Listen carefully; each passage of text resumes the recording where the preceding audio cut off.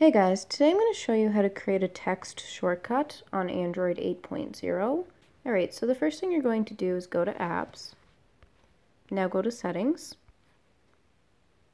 scroll down, go to General Management, now go to Language and Input, now go to On-Screen Keyboard and Samsung Keyboard, go to Smart Typing, now you want to make sure that predictive text is turned on.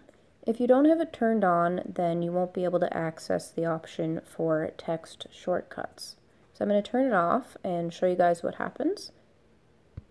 Alright, so now I turned it off and auto replace and text shortcuts are now grayed out and you can't use them.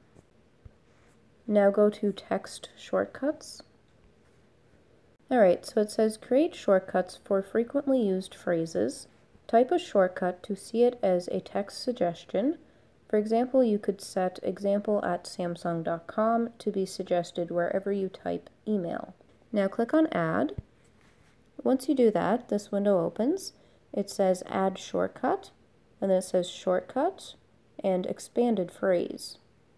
So you're going to enter a shortcut and then enter the expanded phrase. Alright, so for this example, I'm going to set the shortcut to YT, and the expanded phrase is going to be YouTube. So I'm going to type in YT under shortcut, and then under expanded phrase, I'm going to type in YouTube. Now click on Add, and go back,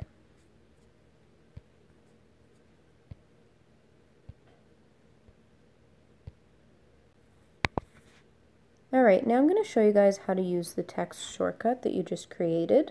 So I'm going to open a new text message. Now for security reasons, I'm not actually going to show any of my contacts or anything in the video. So I'm just going to go in to send a text message. Alright, so now I'm in the new message screen. I'm not going to bother putting in a recipient right now. I'm just going to go to enter message and I'm going to type YT as you can see, once I do that, underneath it, a few different options show up. So we have Yet, YouTube, and YR. So I'm going to click on YouTube. As you can see, that automatically changes it. Alright, so that's how you add a text shortcut on Android 8.0. I hope you guys enjoyed this tutorial, and I'll see you in my next video.